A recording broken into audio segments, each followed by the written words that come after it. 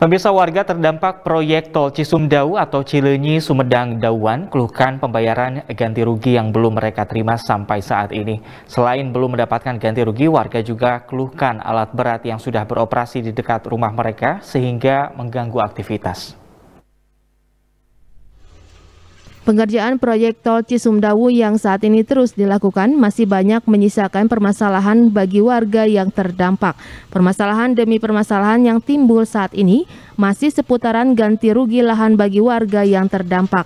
Seperti di desa Cibereye, Dusun Cidempet, Kecamatan Conggeang, Sumedang, masih banyak warga yang belum mendapatkan ganti rugi akibat lahannya terkena jalur tol Cisumdawu.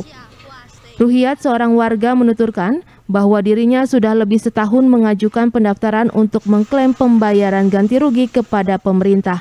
Namun hingga sekarang belum ada tanggapan ataupun kabar terkait ganti rugi atas lahan miliknya yang terkena dampak tol Cisumdawu tersebut. Saya juga nggak tahu yang jadi hambatan. Ya. Itu kenapa gitu kan? Sedangkan saya resume itu di desa Ciberoyo. Ya. Itu paling pertama itu. Hmm, Tapi kenapa kok sampai detik ini hari ini itu ya. belum juga cair? Apa yang jadi hambatan saya juga nggak ngerti itu. Itu belum ada tanggapan atau gimana, Pak? Nah saya se- sempat pernah nanya ya kan ke waktu itu pas ada UGR Ya. di kecamatan saya minta ke Pak Camat itu difasilitasi saya untuk bertanya ke BPN nah, jawabannya itu dia bilang hanya sudah di Elman aja di Elman aja gitu. Tapi Elman nggak ada Sama halnya dengan Didin, dirinya bersama keluarga masih tetap bertahan di rumahnya, meskipun sebagian lahan miliknya sudah digarap alat berat. Dan bahkan listrik untuk penerangan di rumahnya pun Didin terpaksa harus meminta ke tetangganya agar mendapat penerangan karena aliran listrik ke rumahnya sudah diputus. Pak, sampai saat ini pembayaran ganti rugi belum diterima sama Bapak ya? Belum. Belum ya? Ya. Itu janjinya dari pihak pemerintah itu kapan, Pak sebenarnya, Pak?